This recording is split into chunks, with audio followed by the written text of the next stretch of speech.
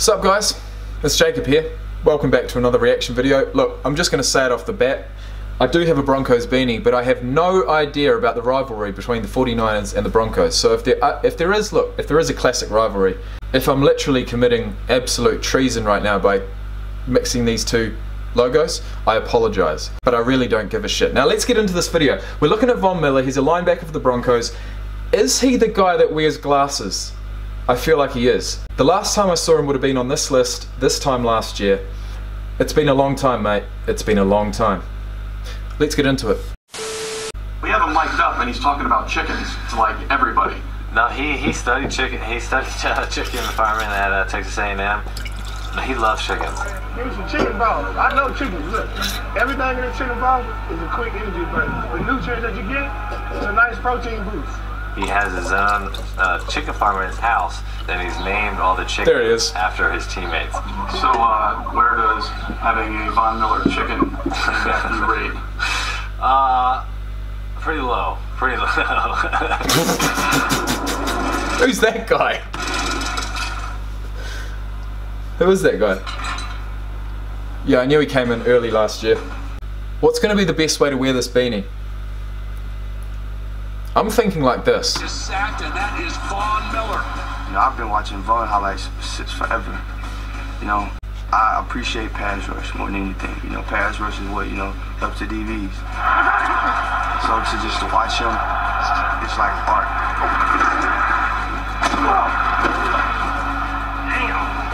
Damn, alright. Can you imagine how that felt?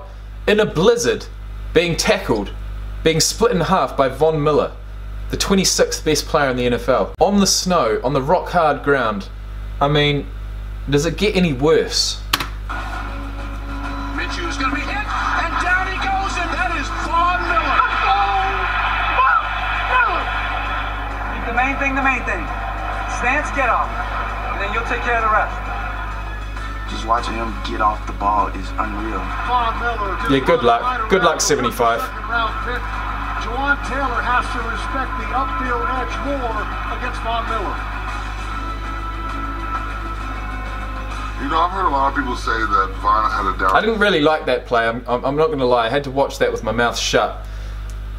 Because I do back the Jags, but uh, yeah, nice play by Miller. year, but he He's too quick, too strong. Too powerful. Let's look up his stats. Sounds like he's out. Not optimistic Von Miller will be able to return this season. Von B. Vishorn Miller Jr. is born on March 26th, 1989, which makes him 31 years of age. He looks totally different without glasses, which is the case with a lot of people. He's 6 foot 3, 250 pounds, so he's definitely up there in size. He went the second pick of the first round in 2011. He went to Texas A&M for what I'm assuming would be three years. Let's have a look. No, he went for four. That's surprising. That is surprising. That wouldn't have happened these days. He's he's uh, he, oh my god, he's listed as having a 40-yard dash of 453. I tell you what, he's on the wrong side of the ball, in my opinion. Let's go. in this defense. It's not just a defense where he's going to rush. I know that he was playing more snaps than he's ever played. Coach Fangio wanted him on the field at all times because he is such a difference maker, whether he shows up in the stat book or not. I feel like he did a great job doing everything he was asked to do.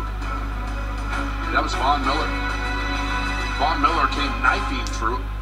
Honestly, in Vic Fangio's defense, I think Von's just going to keep going up, up, and up.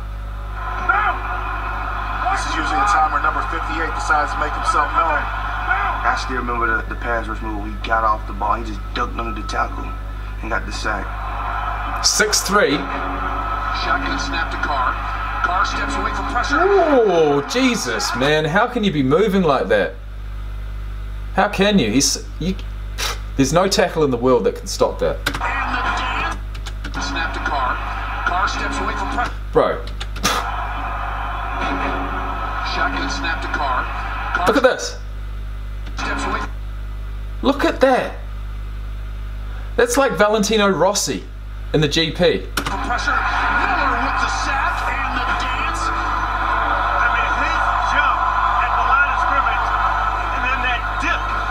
Nice, bro. tackle to that low.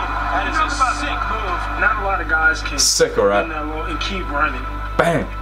when you see him do it, it's so freakish because he's getting low. Getting It would have happened so quick as well. Watch that, yeah. Full speed. That was vintage Miller. David Sharpe to tackle had no shot. Miller went Gumby on him, just bent beyond belief. Fuck man, that's a nice move.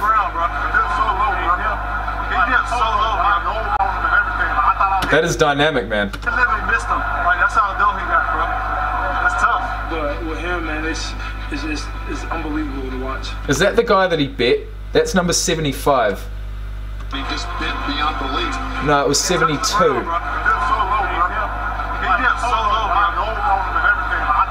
That's 72 right there. Okay, so 72 is the one, the, the guy that he bet, and this is 72 right here. So this is 75. So where was 75? Full speed. That was vintage Miller. David Sharpe to tackle had no shot. Miller went Gumby on him, just No, 75 wasn't on there, but 72 certainly was. He literally missed him, didn't he? Yeah, not easy. Not easy at the best of times. Especially not when you're like six foot six. Man, it's, it's, it's, it's unbelievable to watch. Like that there was just unreal. Oh my god. You're not going to believe it. You, you're not. You're not actually going to believe it. In fact, the guy who always asks for TJ Watt isn't going to believe it. But he's next. He's number 25 on the list. I wasn't expecting that.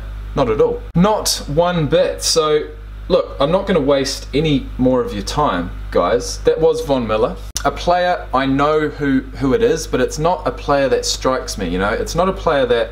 Although that move was absolutely ridiculous. Look, it's a player that look. If he was on my team, if he was on my local team, I'd definitely back him. But as a Jags fan, and really only a Jags fan,